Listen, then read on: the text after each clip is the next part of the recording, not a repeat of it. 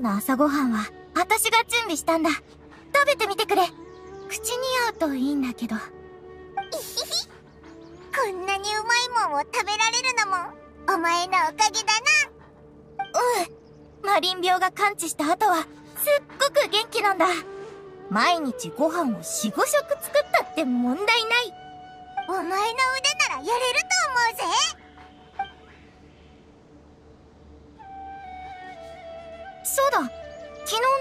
お前が寝た後、ある人からお前宛ての手紙が届いたんだ。おいらはお前が起きてから一緒に見ようと思って、まだ開けてないぞ。開けるなら、今がちょうどいいタイミングだぜ。お、ミーローからだ。グランドバザールで宴を開催するの。ついでに、セナの大マハマタラ復職のお祝いもするんだ。英雄であるあなたたちにも出席してほしいから、待ってるね。最後に宴の日付も書いてあるな。2日後だ。うん。私もお前たちが英雄になったことを聞いたよ。本当にすごいな。いいな時々、お前みたいに強くて自信のある人が、羨ましくなるよ。照れるな。じゃあ、グランドバザールに行ってみようぜうん。行く前はティナリ師匠に一言言うのを忘れずにな。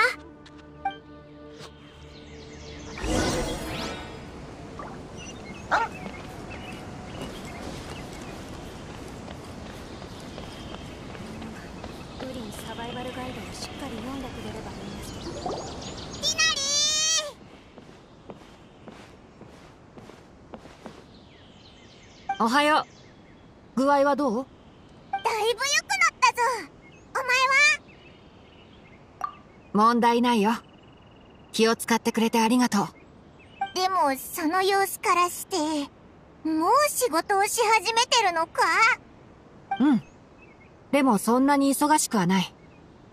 マリン病の患者がみんな完治して、ハイパシアも回復したんだ。今の僕はレンジャー長の仕事だけすればいい。やっぱり、世界樹が良くなるとみんな良くなるんだな。うん。でも、後遺症も少しある。例えば刺激。新しく増えはしないけど、今あるのがいきなり消えることもない。これからも僕たちレンジャーがやっていかなきゃいけないんだ。そうらせがあるぞセノが復職するらしいんだ もう新鮮な知らせとは言えないね。すでに彼から聞いたよ。えここに来たのに、オイラたちに会っていかなかったのかよ。一度ここへ来たけど、君たちの療養を邪魔したくないからと、僕に挨拶だけして帰ったんだ。前も知ってるよな。祝賀会聞いてないけど。俺ミーローの手紙にはセノの祝賀会をやるって書いてあったよな。セノから言われてないのか？おそらく多分彼自身もこのことを知らないんだろう。ああそう言われると確かにセノって祝賀会に参加するようなやつじゃないな。ティナリとコレイもセノの友達だし、オイラたちと一緒に祝賀会に行こうぜコレイはここ数日、僕が担当していた雑用などを引き受けてるんだ。あの様子だと参加する時間はないかもしれない。かくいう僕もなおさらだ。近頃森にお偉方が何人か来ていてね。お偉方正確に言うと、元お偉方だ。事件に関わっていた賢者たちが、アビデアの森で修行をすることになってね。それと、彼らに監禁されていた人も解放されたんだ。え？うん。体は弱ってるけど、怪我もないし、虐待も受けていない。クラクサナ・リデビ様は、本当に心優しいお方だよ。罪深きアザールらを許したんだ。だけど彼ら自身は、自分たちの考えの浅はかさを恥じ、残りの生涯をアビディアの森で知恵を悟るために過ごすことにしたそうだよ。暗草なリデビ様が残氷を倒し、世界中を救ったことを聞いて、彼らは衝撃を受けたと同時に歓喜に溢れたらしい。知恵を探求する道に光が差し込んだように感じたんじゃないかな。これらのことにより、レンジャーの仕事もますます増えてね。仕事って本当に大変なんだな。しょうがないことだよ。少し話がそれたね。本題に戻ろう。君たちは今出かけようとしているのかな？ああ、そうなんだ。外出許可をもらいに来たんだけど、いいよな。もうだいぶ回復したし、行ってもいいよ。でも、安全には気をつけてね。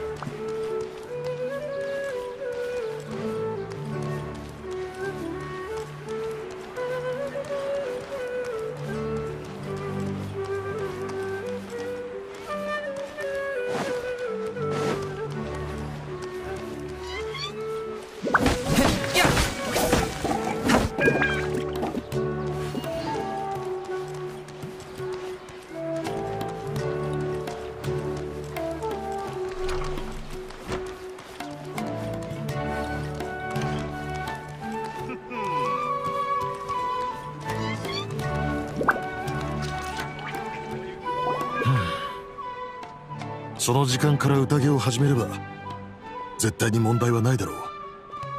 準備は十分整った。ズバイルさん私の方もゲストの人数以外はチェックが全部終わったよ。は あどうして招待を受けた人たちは返事をしないんだ？そのせいでこっちの手配にも影響が出ている。まあとりあえずやるべきことをやっておけばなんとかなるさ私もそう思う。祝賀会は遅かれ早かれ開催できる。そうでしょ？いいな。旅人パイモン手紙を受け取って会いに来たぜ。やっぱりあなたたちって本当にいい人だね。他の人たちからはまだ返事がないんだ。え？ここに来たってオイラたちだけなのか？手紙はみんなに向けて送ったんだけどもしかしたらまだ自分たちのことで忙しいのかも。確かにスメールは今非常に重要な転換期を迎えている。だがその友人たちがどんな大物であってもそれを理由に君を無視するのはどうかと思うがね。何たってニーローはスメールで一番の踊り子なんだから。見る目のあるものと話ができて俺も嬉しいよ。ニーローの踊りを高く評価できたら見る目があるってことはほとんどの人は見る目があるってことになるな。だってあんなすごいステージならみんな好きなはずだろ？ああ確かにその通りだ。俺たちみんなそう思ってるぜ。俺たちみたいにグランドバザールによく来る奴らにとってニーローは一番の踊り子なんだお前たちはよそから来たが、見る目は一流のようだな。ズバイルさん、今度機会があったら、ベストオーディエンスを選んでみたらどうだ？この二人には素質がある。何を言ってるんだ？観客の価値は我々が決めていいものではない。だが確かに見る目のある者にプレゼントを贈るのも悪くはないな。聞けばフォンテーノには写真機なるものがあって人の姿を記録できるそうだ。おおそれはいい。でそれはどこで探せばいいんだ？みんな冗談が上手だね。ここで踊りができるだけで私は満足だよ。グランドバザールはいつも賑やかだな。うん。だから私はここが好きなの。旅人パイモン。あなたたちに頼みたいことがあるんだけど手紙がきちんと届いてるかどうか確認してきてくれないかな。もし届いてなかったらここで宴があるってことみんなに伝えてほしいのおうちょうど最近のスメールがどうなってるのか確かめられるしな。うーん私が手紙を書いた時点だとリシアはオルモスコアルハイゼンさんは教霊院にいるって聞いたよ。セノさんはたまに教霊院に現れるってことしか聞かないかな。ラフマンさんの居場所もちょっとわからないの。多分リシアと一緒にいると思うよ。それとドニアザードだけど具合はどうなってるかな。家に手紙は送りはしたけど療養の邪魔したらいけないと思って会ってないんだ。もし時間があったら彼女のことも聞いてきてくれる？うんわかったぜ。よし早速出発しよう。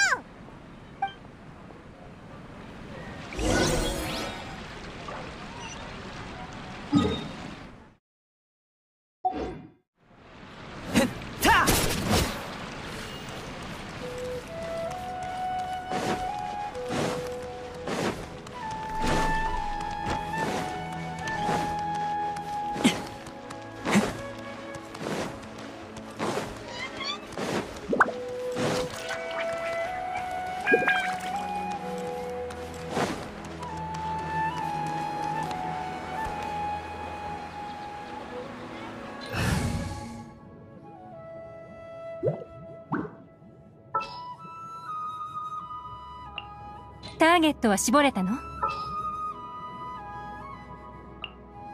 私の合図を見てから行動するんだ。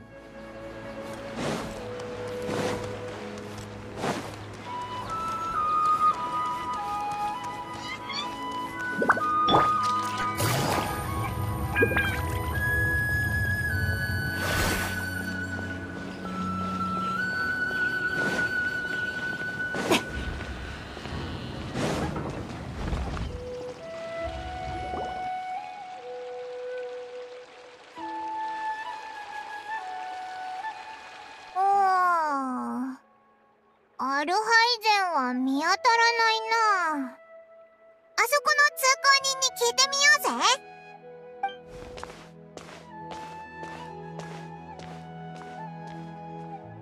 なあちょっと聞きたいんだけどアルハイゼンを見なかったか？アルハイゼン書記官は知恵の殿堂に行ったみたいですよ。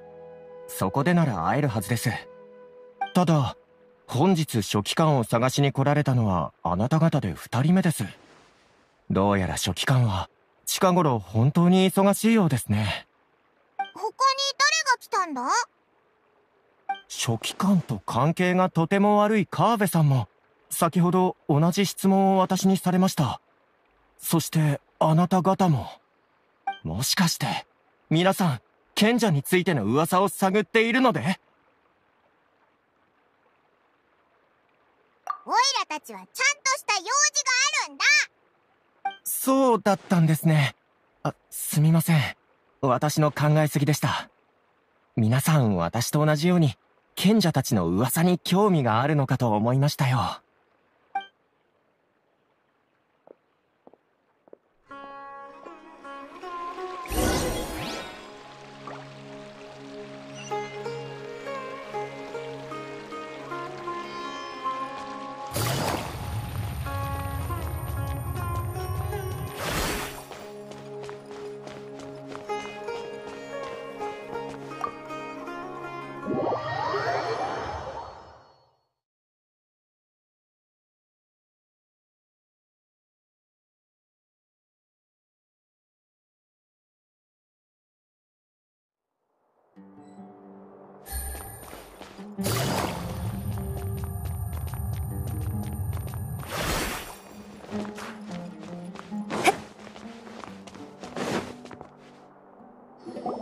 アルハイゼンはこの辺りにいるんだよな。ああっちにいるぞ。でもなんか忙しそうだな。そのくだらない本を読んでないで早く院内で何が起こったか話せ。くだらない本などではない。これはスメールの市場では珍しい形ある書物だ。どうせ食券を使って手に入れたものだろくだらんそれよりも今日帰ってきたら賢者がいなくなったと聞いたぞ。ほう。その驚き方からしてどうやら衝撃的な内情を知ったようだな。知ってたら君に聞かないだろ。書記官は君で僕じゃない。早く君が知ってることを教えろ。俺はあと少しで賢者になっていた。はあ？そう驚くほどのことではない君はかの有名なカーベだろう。妙論派の星であり修理や建造に精通している。次の賢者に選ばれる可能性だって大いにある。その言葉心から発したものとは思えないな。何を言う？俺の君に対する称賛はいつだって心からのものだ。いやなぜならそもそも君は僕に称賛なんてほとんど言ったことがないからね。お互い様だ。俺のように君の性格をよく知る者であれば誰であろうと俺と同じ選択をするはずだ。君ってやつはその言葉そのまま返させてもらおう。君がそんな自己中心的で傲慢で皮肉屋な性格をしてるから僕は君と何かについて話すのが嫌いなんだ。つまり俺の性格が受け入れられないと。当たり前だろ。なら俺の家から出ていくといい。脅しか？卑怯だぞ。いやこんなこと言ってる場合じゃなかった。君が賢者になるって。それなら教令員が明日閉院する方がマシだ。そんなくだらん冗談を言うな。なんか喧嘩してないか？教令員のことよりも君は建築に忙しいのだろ？いつか自分にも豪華な家を建てたらどうだ？建築のことは言うな。思い出しただけで腹が立つ。それで我らが大建築士様は今回どんな偉大な建造物を生み出したんだ？僕のプライベートをいちいち君に報告する必要があるのか？俺は君を疑っているんだ。スメールが君を一番必要としていた時君は何をしていた？砂漠で大掛かりな工事をしていたよ。だがそれを言っても君にはわからないだろうね。君たちチロン派のなけなしの建築美学では。かわいそうに美とロマンを理解できないなんて心の底から同情するよ。ってちょっと待った。スメールが僕を一番必要としていたって何のことだ？君が不在の間多くの者が手を組みスメールの危機を救ったんだ。そんな話を僕が信じるとでも？アザールとその同胞が失脚した。これが君の知りたかった質問の答えだ。は？何をデタラメなこと言ってるんだ？信じなくても構わない。アザールに経費の申請をするのは何も俺たち知論派ではないからな。ま君たちの申請については。ちょっと他の人に詳細を聞いてくる。嘘だったら容赦しないからな。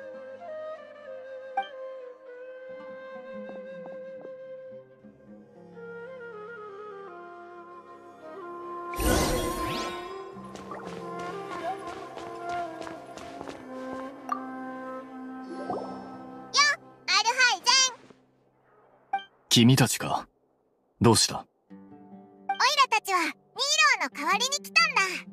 あいつから手紙を受け取ってないか？手紙？2日後にグランドバザールで開催される祝賀会にみんなを誘うためにニーローが手紙を出したんだ。ついでにセナの大マハマトラ復職のことも祝うんだってさ。もしもその手紙が、教令員のアルハイゼン宛てに手配したものだったら、大方、俺の執務室に届いているだろう。ただ俺は、ここ数日とても忙しくてな。まだ執務室へ戻って手紙を確認する時間がない。今はちょうど休憩時間だったから、少し自分のことをやっていたんだ。お前の仕事って、いつもこんなに忙しいのか？まさか。最近は数名の賢者が免職となり、教令員の上から下までどこも混乱している。そのせいで忙しくなっているだけだ。ティナリから聞いたんだけど、あいつらはみんなアビディアの森へ修行に行ったみたいだぞ。一生そこで暮らそうとしてるらしいぜ。あの者たちにとっては、一番いい結末だろうな。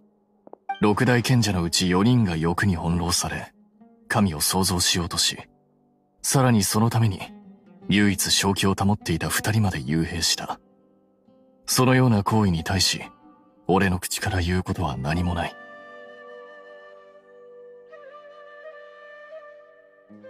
そうだな。久しぶりにその呼び方を聞いたから、なんだか全然聞き慣れないぜ。それと同じで、六大学院も結構迫力があるよな。少なくとも、本来はそうであるべきだったんだ。伝説では、教令院が設立された当初、知恵における6種類の方向性を代表するため、宗神様が直々に六大学院を作ったそうだ。かつてそれぞれの学院では、無数の学派が栄えては消えていった。唯一、六大学派だけは、六大学院をよりどころとして、長い時間という試練を経た後、教令院における普遍の学派となった。今では、六大学派と六大学院は、ほぼ同じ意味を持つ言葉になっている。六大賢者は、この6つの学院から選ばれた最高指導者だ。そしてその六大賢者の中から、さらに大賢者と呼ばれる中心指導者が選ばれる。残念ながら、今教令院に残っているのは、陰論派と正論派の賢者だけだ。彼らはアザールに反対したがゆえに幽閉され、アザールが失脚して、やっと身柄を救助された。じゃあ、他の4つの学院は管理する人がいなくなったってことだよな。新しい人が選ばれるのか？ああ。一般的に、規則に従って新たな賢者が選ばれることになっている。お前、さっき自分が賢者になるって言ってたよな。お前が賢者になったら、オイラたちのスメールでの後ろ盾が増えるってことだな。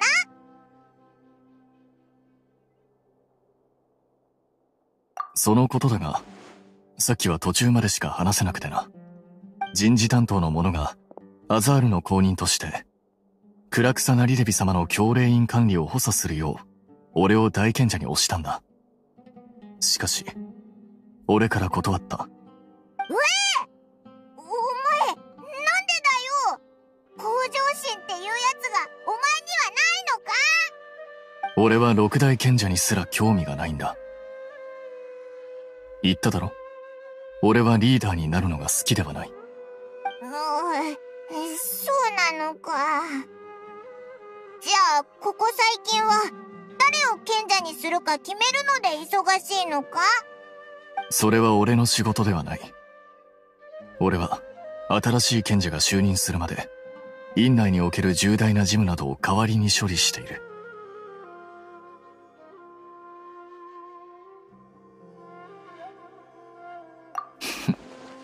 リーダーになったら、真っ先に妙論派の経費申請を断ってやる。そういえば、さっきの人って誰なんだ？友達か？俺とあいつが友人に見えたか？知らないから聞いてるんだけど。あいつはカーベ。ルームメイトといったところだな。あいつのことは、妙論派学者の代表と思えばいい。